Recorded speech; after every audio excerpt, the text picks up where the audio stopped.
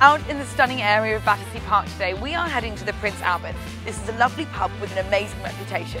Let's go find out why.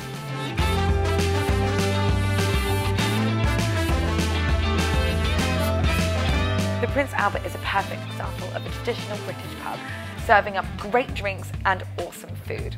Their menu is quintessentially British, serving up all of our favourites. I've gone for my three favourites today, so here I've got a lamb pie with gravy, bangers and mash, and obviously the traditional fish and chips, accompanied with a pint. The vibe in here is absolutely fantastic with old traditional decor. The staff are all really lovely and they've got an upstairs dining room and bar area. So there's a huge seating area being able to cater up to groups of all different sizes that open brunch, lunch and dinner every single day of the week and they've got gorgeous views of Battersea Park. It's a fantastic place to stop by for lunch if you are in the park or if you are just looking for a nice new place to come and have some good food and a good drink. I'm sure you've been watching Big Review TV and if you are looking for a traditional English pub serving up some really yummy treats, look no further and come and check out the Prince Albert.